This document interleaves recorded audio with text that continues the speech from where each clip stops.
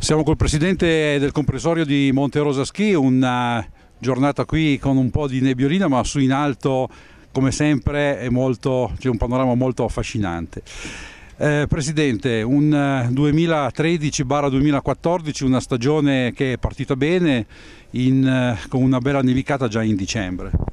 Sì, quest'anno la nostra zona è stata particolarmente fortunata, abbiamo avuto delle buone precipitazioni a fine novembre, abbiamo potuto aprire, mantenere la promessa di aprire gli impianti per l'ultimo weekend di novembre.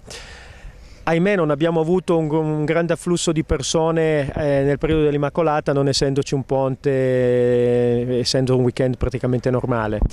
Il periodo natalizio che si è chiuso al 6 di gennaio è stato, mm, come ahimè avviene da tanti anni, caratterizzato sempre dalle, dalle, condizioni meteo, con giornate belle, afflussi importanti nel comprensorio con previsioni e giornate di, insomma, di maltempo la gente invece decide di rinunciare e quindi mh, le presenze ne risentono in modo significativo. Ecco Presidente, voi fate molte attività sia d'estate che d'inverno proprio per promuovere il turismo, la Val d'Ayas attira veramente tantissime persone non solo in ambito nazionale ma anche internazionale. Eh, oggi eh, a livello di stranieri qual è la, diciamo, la nazione che frequenta di più le, la vostra valle e le vostre piste? Ma allora, nella Val d'Ayas abbiamo un'ottima presenza di clientela eh, appunto inglese e anche nella valle, valle di Gressonei, in, in Gressonei, nella zona di Gressonei ci sono anche tanti scandinavi.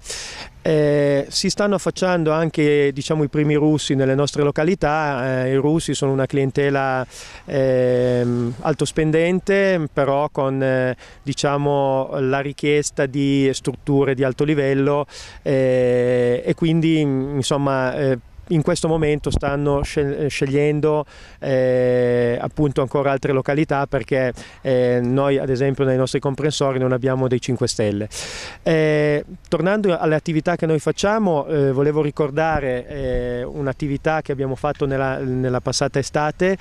eh, che è stata quella di mh, riproporre alla clientela eh, il fascino del collegare le tre valli, ovvero la Val d'Ayas, la Valle di Gressonei con la Valle di Alagna e fare questo utilizzando le, la bicicletta. Abbiamo tenuto aperto nei mesi di luglio e agosto i nostri impianti che garantiscono questo collegamento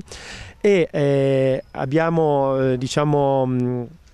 creato quello che eh, appunto veicoliamo come marchio, eh, ovvero il Monte Rosa Bike. Ecco Presidente, gli scorsi anni sono stati caratterizzati da importanti investimenti da parte di Monte Rosa Ski sulla funicolare che c'è qui vicino a Champoluc e eh, soprattutto l'impianto diciamo, del Gabbia di Punta Iolanda. Però voi ehm, quest'anno avete fatto, quest'anno nel 2013, avete fatto una estensione della società acquisendo altri impianti impianti e altre strutture.